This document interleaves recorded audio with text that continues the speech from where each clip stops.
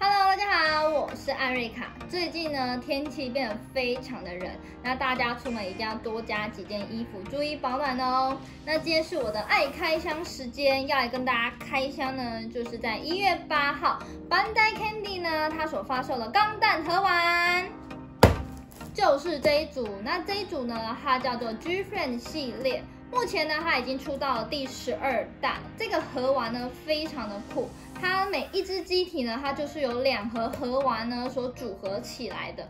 一盒呢，它叫做 Armor，它是有不可动的骨架呢，加上呢机体的外装甲。另外一盒呢，它叫 Frame 的，它是有可动的骨架呢，加上了机体的配件还有武装。所以一次拥有两个盒丸呢，才能够组装起来完整的钢弹。它是第十二弹呢，总共有出四只角色，有汉妞钢弹、神盾钢弹、RX 七八一钢弹原型机，还有 RX 七八二出厂配色。那玩钢弹呢，当然就是要可以可动嘛。那这盒盒玩呢，我就会以可动的骨架为主。那我就废话不多说，直接开组喽。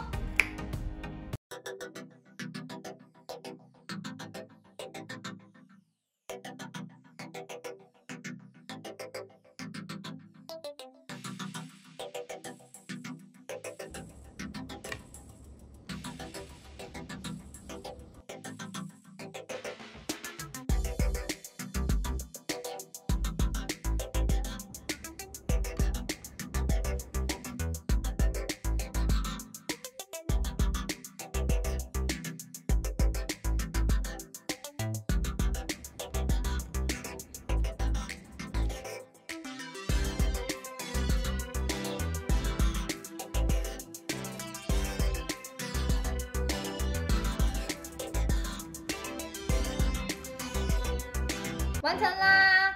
那这个系列它主打的呢，就是组装上面很容易、高可动，还有精密的细节。每一只角色呢，都可以摆出经典的姿势。海牛钢弹它有做出阿姆罗独角兽的标志，它坐在肩膀还有盾牌上面。神盾呢，它有重现它腹部五八零 mm 布列香味呢能源跑。另外呢，它在裙甲的两侧呢，它有设计孔洞，可以把光束步枪还有盾牌悬挂在裙甲的两侧。R 七八万钢弹原型机呢，它是采用了黑红的配色。机体还有武装的部分呢，它是采用了新规的造型零件。那这一只机体呢，我最喜欢它的地方就是在它盾牌部分，黑红黄的配色呢，看上去真的很好看。最后一只出厂配色，它的机体还有武装的部分，就跟钢弹原型机呢是使用了同样的新规的设计，在武装还有机体的部分，它也有加入银色的涂装。那它这个银色的涂装呢，它是没有光泽感的，跟我想象中呢有点落差。让我小小抱怨一下，这一次呢我在组装上面发生一些小小的困扰，就是呢我在打开不可动的骨架呢，它已经跟装甲组在一起了，变成是说。我要组可动骨架的时候呢，我就必须要先把它们拆开，才有办法组上去。这一点呢，我真的觉得有点麻烦。另外呢，手型的部分呢，可动的骨架它是使用了持武器的手型，那不可动的骨架呢，它是使用了张开的手型。那这两款手型的部分都可以互相去做替换。不可动的骨架呢，它也有进行一些改良。之前的不可动骨架呢，它都只能够当做摆饰使用。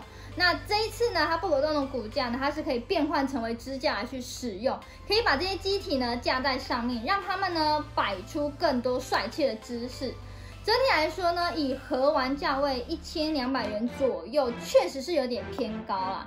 但是这一组盒玩呢，它不管是在涂装，或者是说在它的可动上面呢，其实都做的相当不错。